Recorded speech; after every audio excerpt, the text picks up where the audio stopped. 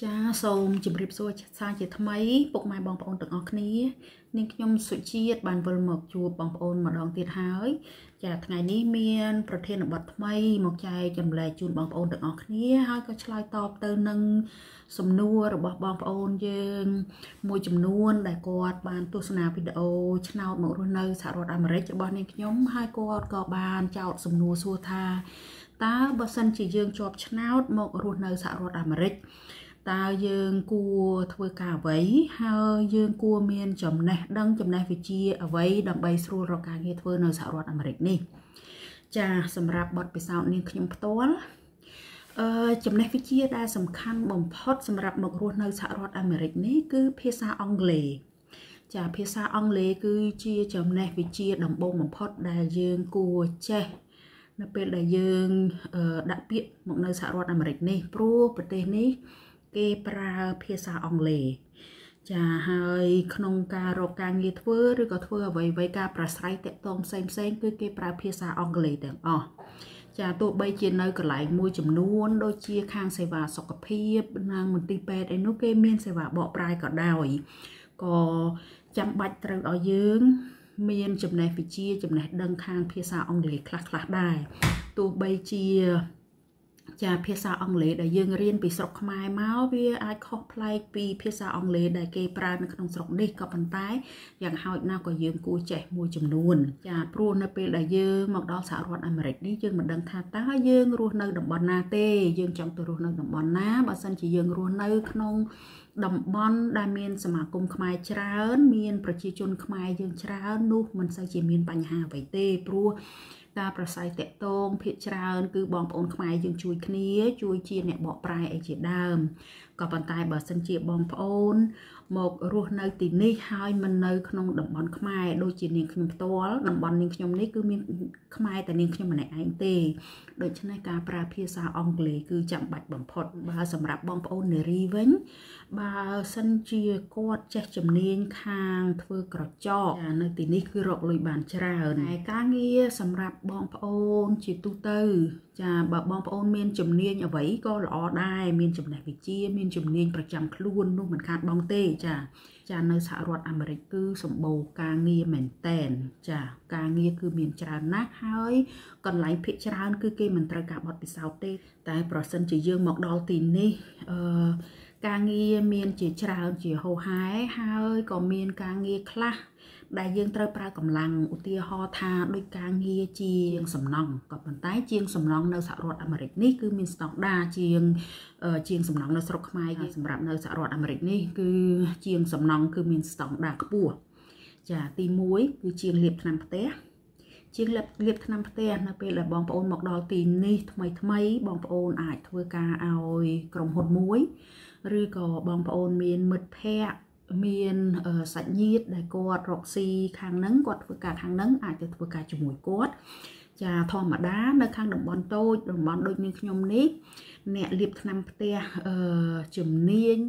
រកបាន1ម៉ោង25ដុល្លារចានៅពេលដែលយើងបាន license ហើយយើងបើកក្រុមហ៊ុនខ្លួនយើងហើយយើងអាចរកបាន1ម៉ោងដល់ទៅ50ដុល្លារចា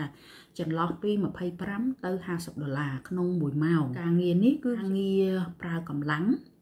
យើងមិនត្រូវការសញ្ញាបត្រឬយើងមិនត្រូវការជំនាញអីទេសំខាន់គឺយើងចេះលាបថ្នាំផ្ទះ ហើយលាបថ្នាំនៅស្រុកនេះគឺអត់ដូចលាបថ្នាំនៅយើងនៅស្រុកខ្មែរទេ ចាការងារដែលរលួយងាយស្រួលសម្រាប់បរោះគឺការងារលាបថ្នាំផ្ទះការងារជួសជុលផ្ទះអីនឹងជាដើម ចាចាឯការងារផ្សេងផ្សេងទៀតដូចជាយើងធ្វើការជាភ្នាក់ងារលក់ទំនិញតាមទីផ្សារយើងអាចធ្វើបាននៅហាងលក់នំប៉័ងដូចជា hamburger អីនឹងជាដើមហ្នឹងគេហៅថា fast food restaurant ហ្នឹង គឺយើងអាចធ្វើនៅកន្លែងអស់នោះបានហើយនៅពេលបច្ចុប្បន្ននេះនៅក្នុងសហរដ្ឋអាមេរិកគឺកំពុងខ្វះខាតបុគ្គលិកធ្វើការគ្រប់ស្ថាប័នគ្រប់ផ្នែកទាំងអស់គ្រប់ជាន់ថ្នាក់ចា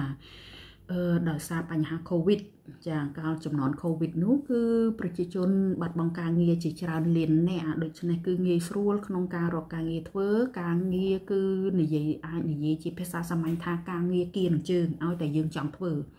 ចាការងារអ្វីក៏មានដែរហើយប្រាក់ម៉ោងក៏បានល្អដែរចាប្រាក់ម៉ោងចាប់ពី10ដុល្លារឡើងទៅ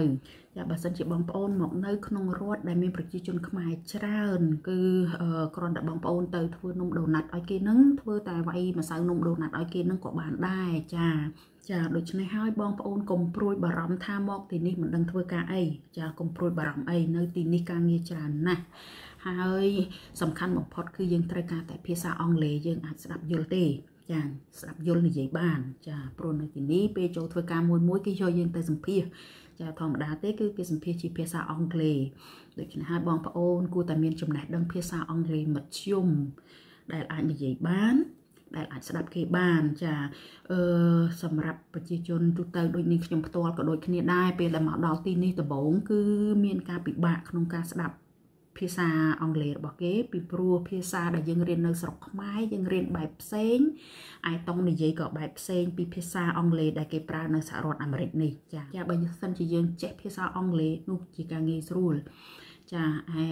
តង់របស់យើងស្ដាប់គេបានមិនបានឬក៏យើងនិយាយទៅគេស្ដាប់យើងបានមិនបាននោះគឺយើងរៀនកែសម្រួលទៅតាមនោះបានចាកាលនាងខ្ញុំមកដំបូង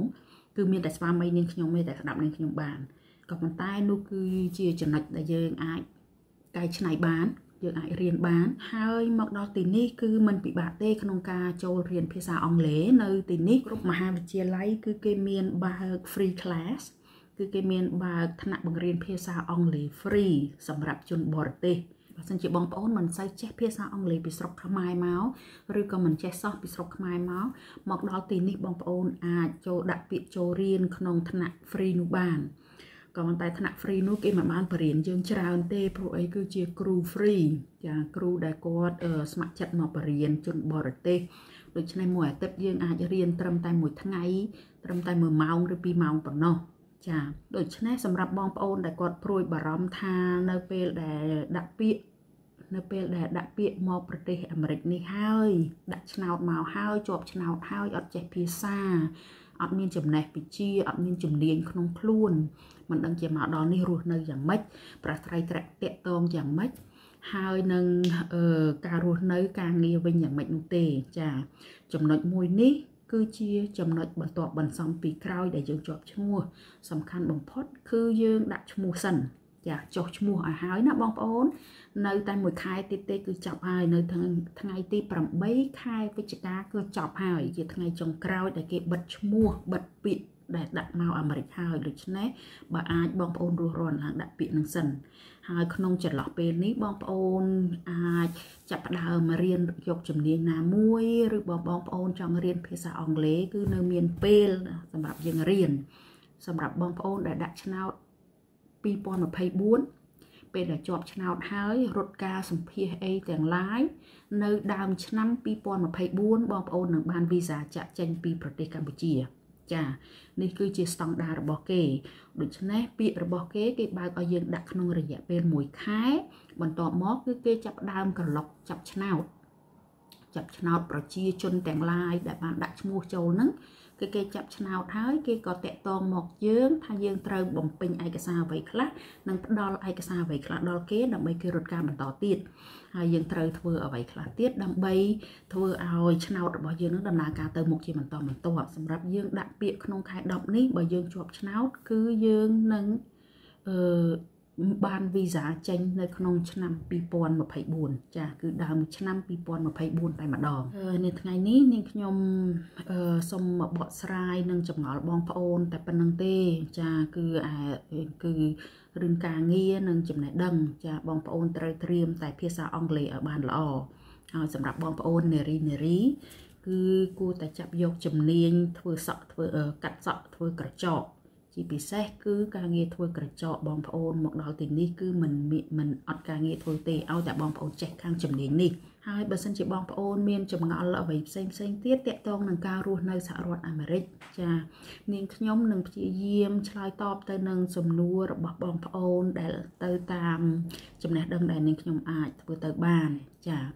បើសិនជាបងប្អូនពេញចិត្តនៅវីដេអូនេះសូមបងប្អូនជួយ follow និង share page របស់នាងខ្ញុំម្នាក់មួយផងដើម្បីផ្ដល់ជាកម្លាំងចិត្តដល់ការផលិតវីដេអូថ្មីៗហើយបើសិនជាបងប្អូនមានចម្ងល់ឬសំណួរបែបណានោះបងប្អូនជួយ comment ឬ message ចូល Messenger page របស់នាងខ្ញុំក៏បានដែរចានាងខ្ញុំនឹងឆ្លើយតបទៅតាមអ្វីដែលអាចធ្វើទៅបានចាសម្រាប់ថ្ងៃនេះនាងខ្ញុំសុជាតិសូមអរគុណនិងសូមជម្រាបលា